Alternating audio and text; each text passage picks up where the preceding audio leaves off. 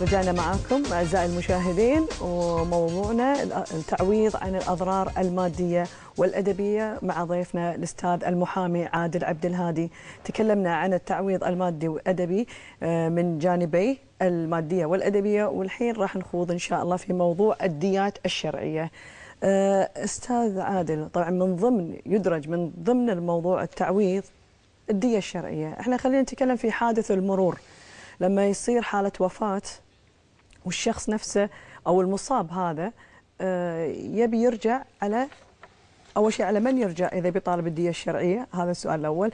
وكذلك إذا حكم عليه في حكم نهائي براءة هل يحق حكم على المتهم طبعا هل يحق للمجني عليه أو لأهله أو لورثته أن يعودون على المتهم بالدية الشرعية أو على من يعودون؟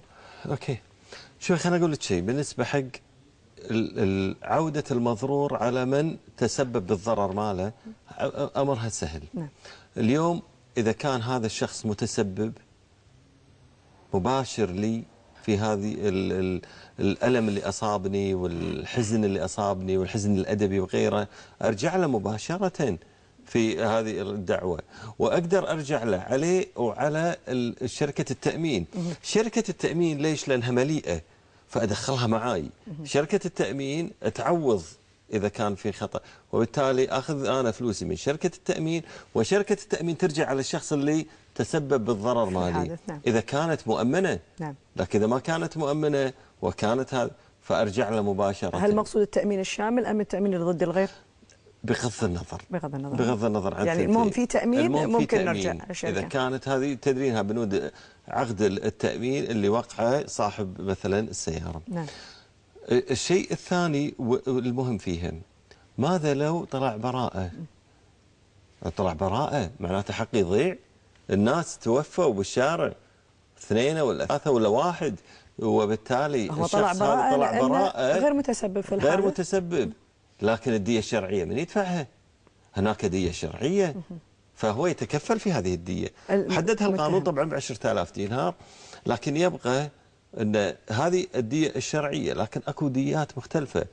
أن مثلا عن العيون لها شيء عن قصة الإيد قصة 10000 الريد دينار عن هذه الوفاة. عن الوفاة بس فقط لا غير. فبالتالي القانون ما يمنع الشخص اللي يكون آه، يعني تسبب في هذا الحادث أن نعفيه حتى لو طلع براءة لا أنا أرجع في الدية الشرعية وأخذها سواء من شركة التأمين أم من الشخص اللي تسبب في الضرر اللي أصابني أو أصاب أسرتي. لكن أكو سؤال وايد مهم وما أدري يمكن بتسألين لي اللي هو ماذا لو ما نعرف من الشخص أي نعم. اللي سبب الحادث؟ ربكة وسيارة ودعموا واحد ومات بالشارع مثلا هذا اللي كنت بتكلم عنه انه حادث سير واحد مثل الحين نسمع إيش كثر هنود قاعد تعبر بالشارع بال highway وجت سيارة وطقته ومشت. ما إيه. حد درى من هني الحادث الكويت حددت حددتها حسب المبدأ الشرعي إن الدولة كافله من لا آه، ضامنة من لا ضامن له. وبالتالي الدولة هي ممثلة بوزاره المالية هي اللي تدفع ال 10000 دينار. وهذه كانت تؤخذ أول من آه، بيت مال المسلمين. وبالتالي اليوم الكويت ماخذة هذا النص وحطته ورتبته بحيث إذا انتفى آه، أو ما قدرنا نثبت من هو الشخص اللي تسبب في هذا الحادث أصبحت على الدولة أنها تكون هي الراعية بأنها تقوم بالسداد عن قيمة الدية الشرعية. انت بهالحاله إجبت على السؤال الثاني. بس آه، إحنا بنتكلم عن إصابات الملاعب الحين. بالنسبة للاعبين كرة القدم أو كرة السلة لما تحدث منهم إصابات على من يعودون بالتعويض؟ هل على النادي؟ ماكو قانون هذه مشكلة ماكو قانون يرتب هذا الموضوع للأسف. يعني بالكويت ما في قانون يرتب إصابات الملاعب ويرتب هذه. ولذلك لما مرات أنا نصرخ لما كنا رشح نفسنا في الانتخابات وغيرنا وغيرنا نقول الكويت فيها قصور تشريعي. قصور التشريعي مو بكثرة القوانين بأن هذا القانون يكون على الأقل يعني يدوم فترة طويلة ومعالج لكثير من الحالات. يعني مثلا لما أنا أقر أن في عندنا ال- التفرغ الرياضي وأقول نعم أنا رتبت التفرغ الرياضي ورتبت قانون للاحتراف. لازم أرتب إصابات الملاعب إصابات ال ال. لا المشاهدين اللي موجودين اللي قاعدين اللي حضروا الجماهير هذول داشين الملعب ما ينطقون أرتب غيره وغيره وغيره. دائما القوانين اللي مثل هذه تعطي التزام أكبر. لي أنا كواحد من الجماهير لما أدخل وأقول انه في قانون يردعني. في هذا القانون إذا أنا تسببت برمية بطل وحاش لي راس واحد أنا راح أدفع لي 10000 دينار لا محال. حسب نص القانون وبالتالي كان القانون واضح فصل لأن قانون جزائي وقانون يرتب تعويض وبالتالي أنا أخاف. دائما قلت لك القانون أما أنك تخافين منه وأما أنك تحترمينه. إحنا نتمنى على الجميع أنهم يحترمون لكن اللي ما يبي يحترم نعم. يجب عليه إنه يلزم بالقانون عن طريق الردع عن طريق المحاكم الجزائية محاكم أول درجة ولا بالاستئناف أنها تردع هذا الشخص عن طريق الأحكام الجزائية. ولازم بالفعل يكون في فلازم. تكون في تشريع نعم. مفصل إحنا اليوم أعضاء مجلس الامه غايبه عنهم مثل هذه المسائل. إذا يو بيشرعون راح يقولون انه رتبنا حق آه، الاحتراف. طيب شنو حق الاحتراف؟ قال بس إحنا رتبنا حق الاعتراف. على وزارة الشؤون إنها تطلع آه، اللائحة التنفيذية لمثل هذه طيب المسائل الحين ح- ويسيبون الموضوع حق الحين فعلا اللاعب لما يصاب في داخل الملعب ما يقدر حتى يعود على النادي؟ لا بس يقدر يعود على شيء ثاني. يرجع للأصل العام اللي هو ال- ال- القوانين المدنية اللي هو أصيب مثلا آه، المفروض الدولة عاد التعويض منها يكون. إيه، يعني لا ليش ما الدولة مثل ما رتبت أن تكون الملاعب فيها الحين آه، نوادي صار داخل الملعب صحيح. سوق صار داخل الملعب. وبالتالي آه، لما يصير مثل هذا الموضوع ترتب أيضا تحافظ علي وعلى صحتي وعلى سلامتي وسلامة عيالي وعيالك والناس اللي رياي الملعب وجايين يشوفون كرة القدم. أيضا تحمي اللاعب هذا اللاعب محترف. وبالتالي صحيح. لما اللاعب هذا يتعطل عن آه، موسم كامل عن اللعب اللي اللي تسبب بإصابته متعمد وهذه تحتاج إلى لجنة تحتاج إلى خبرة. إحنا يعني ما نلوم على اللاعبين لأن ماكو حماية قانونية لهم فبالتالي هم ما يقدرون ما يلعبون عدل. طيب أستاذ الحين في سؤال آه، اندرج آه، من أحد السائلين يتكلم عن الشوارع. زين؟ يقول لك الشوارع فيها كثير من المطبات وكثير من الحفر وكثير. خلينا نقول واحد سيارته يدعي إنه 100 ألف دينار أو سعر وقدره. ومركب له طبعا سيارته تواير جديدة وكذي. من الشوارع هذه وهو قاعد يمشي تضررت عنده التواير. تدري ال tyre الواحد راح يكلفه مبلغ وقدره. صخرة من الشارع من كثرة الحفريات. هل يستطيع هذا الشخص أن يعود على الدولة بدون بالتعويض شك بدون شك. هذه رتبها القانون. إن الدولة هي- حالة بالبداية يسوي إثبات حالة إن في حفرة في المكان الفلاني. هذه تسببت كسر ماكينة سيارتي لما وقفت هني. يطلعون المقفر مفروض المقفر مفروض يتعاونون مع خلق الله كلهم. ويطلعون لما يقول لهم سووا لنا إثبات حالة. ما يرجعون يقولون لا أصبر خلينا نكلم المحقق. لا عقب المحقق رئيس التحقيق عقب رئيس التحقيق ضابط المغفر عقب ضابط المغفر آه، رئيس الأمن عقب رئيس الأمن رئيس المنطقة عقبها ضاعت السالفة. وبالأخير عقب ما نخلص كل هذه يقول لا تعال باكر عند مدير المنطقة. نعم. علشان تشوف.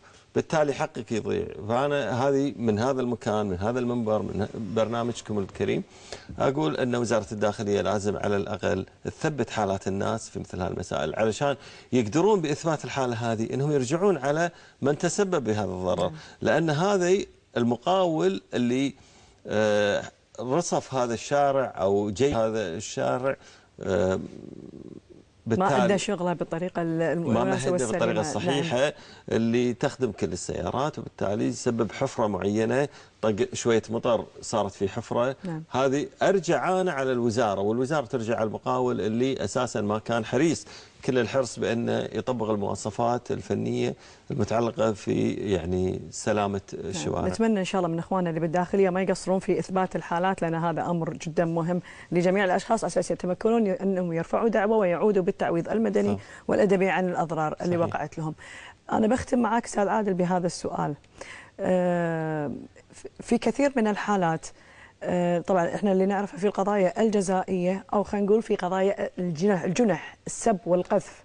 الإنسان يتوجه بطبيعة الحال إلى محكمه المخفر يقدم شكوى بعد ما يقدم شكوى يتم استدعاء المتهم تحقيق معه ثم تحول القضية للمحكمه ثم يحكم له ومن بعد ما يحكم له يقدر طبعا هو السبب في كل الموضوع إنك أنت تروح المخفر وتسجل قضية إنك بالنهاية تبي شنو؟ تبي تروح ترفع تعويض. دعوة تعويض مدني طبعا مادي وأدبي عن الضرر اللي لحق فيك. هذا البروسيجر يمشي بس إحنا نقدر نختصر هذا الطريق بدل لا تروح أنت للمخفر وتسجل شكوى تقدر على طول تروح ترفع دعوة مدنيه بس يجب أن تثبتها أمام المحكمة سواء بشهادة شهود أو بإثبات يعني آه، فعلي للموضوع. الحين هذا الوضع قائم بالنسبة للأشخاص العاديين، أنا بتكلم عن باعتبارك مرشح طبعا سابق لمجلس الأمة، بالنسبة لاعضاء مجلس الأمة والحصانة اللي يتملكونها هل هذه الحصانة تمنع الأشخاص من الرجوع؟ يعني الحين غالبا ما نسمع إن عضو مجلس أمة في إحدى الندوات ولا في آه، آه، خلينا نقول في طبعا تر- ترشحه أو في الندوات أو في ساحة الإرادة وهو قاعد يل- يلقي الخطبه ممكن يخطئ أو يغلط خلينا نقول أو يسب أو يقذف أحد الأشخاص. سين من الناس ما ما نذكر منه أو ما نعرف من الشخص. ذكر بالاسم وقذفه زين؟ هل الشخص هذا طبعا طبيعة الحال إحنا كلنا نشوف الناس تروح طبعا تروح المخفر وتسجل جنحه سب وقذف ويروح ال- الموضوع إلى ال- البرلمان ويطلب رفع الحصانة. طيب إذا الغرض من الموضوع التعويض المادي والأدبي لماذا لا يتجه صاحب العلاقة إلى المحكمة المدنية direct بغض؟ هل الحصانة حصانة عضو مجلس الأمة تمنع الشخص من آه، رفع دعوة مدنية على طول مباشرة؟ لا لا طبعا لا لا مو صحيح. أول شيء خليني أقول لك شيء. بالنسبة لذهاب الأشخاص إلى الدعاوى الجزائية بالسب والقذف هذه مسألة يعني تنقسم إلى رأيين. رأي يقول أنا أبي آخذ الحكم الجنائي وبالتالي أرفع دعوة تعويض عليه فأعوره ماليا. بعضهم يقول لا أنا مو ماليا أنا يهمني إني أسجنه. بس قضايا السب والقذف ما يتم السجن يعني فيها. هذا يعني يعني آه، آه، هذا همي. غرامة. همي الأول أسجنه بعدين التعويض. فهي يعني تنقسم حق آه، يعني أهواء الناس. لكن رأيي جدا سديد. اليوم أنا باستطاعتي أني أرفع أي دعوة مدنية وهذا اللي إحنا قاعد نتجه له الحين. بدال ما نروح نرفع دعوة جزائية وندعي فيها مدني ونقعد نحارب فيها وبالأخير يطلع براءة والمحكمة تقول آه، برأيها إن هذا يعتبر من النقد المباح أنا أقول ليش؟ هو أساء لي ولأسرتي ولكياني ولمكانتي الاجتماعية خاصة هي الإساءة ولأس- أدبية، نعم. ولابنائي وتاريخي السياسي وتاريخي الاجتماعي وتاريخي ايا ما كان وجرحني جرح عميق أنا لما بخلي المحكمة المدنية هي اللي تقدر لي قيمة التعويض. نعم. فأدعي عليه ب 5000 واحد دعوة مدنية عادية. وهي المحكمة إذا التزمت بانها تحدد هذه أنا بعدين أرفع. هذا بالنسبة للشخص العادي. بالنسبة لعضو مجلس والحصانة مجلس هل نتمكن من رفع الدعوة المدنية ولا لازم نرفع الحصانة؟ لا، ما لها يعني. إحنا نقدر نقول إنه ولا داعي كل مرة يتم طلب رفع الحصانة عن طريق شكوى. فممكن أي شخص يندرج اسمه يقدر يروح يرفع دعوة مدنية لا، هو رفع مباشرة. الحصانة مرتبطة بالحبس مرتبطة بالإجراءات مالت الداخلية بالتحفظ. مو مرتبطة بشيء ثاني. وبالتالي حضورة إلى المحكمة. طيب أنا الحين أطالب لي عضو مجلس الأمة 50 دينار ولا 200 دينار ولا 2000 دينار ولا يقدر يرفع دعوة. بنيت له بيته أو عمارته هذه الكبيرة من خمس أدوار وأطالبه نص مليون دينار. مو راضي يدفع لي أنطر لما أخذ الحصانة. مو منطقية يعني. هي المنطقية بالجنائي علشان الداخلية. الحكومة ما تتعسف مع العضو فتحجزه. هو الفكرة منها كذي نعم. أن الحكومة ما تتدخل في نفوذها فتمنع هذا العضو من انه يحضر جلسات مجلس الأمة وبالتالي يصوت التصويت الفلاني وبالتالي أنا أمنعه فتشوفين يمنع عليها بعد ما يقسم القسم أنها تتحفظ عليه إلا لما ترفع حصانته عن طريق القضاء نعم. وبالتالي ترفع القضية والمحك والمجلس الامه ما يتأكد من شيء ترى نعم. ما يدخل في المواضيع كثير يدخل. من شيء جزء جزئية وحيدة اللي هو يتأكد هل هناك كيدية في هذا الادعاء ولا لا إذا نعم. ما ما في كيدية حالها إحنا يمكن اللي يهمنا في الموضوع عند التعويض يعني مدني. بس إن المتعويض المدني إن نبين انه بالفعل يتمكن الشخص سواء شخص عادي أو غير عادي عنده حصانه تقدر ترفع على طول دعوة مدنية عن أي ضرر حاشك سواء قضية سب أو قذف أو أي شيء من هذا القبيل. الحصانة لا تحمي إلا داخل مجلس الأمة ولا تحمي خارج مجلس الأمة. صحيح. أشكرك أستاذ عادل على المعلومات القيمة اللي أثريتنا فيها.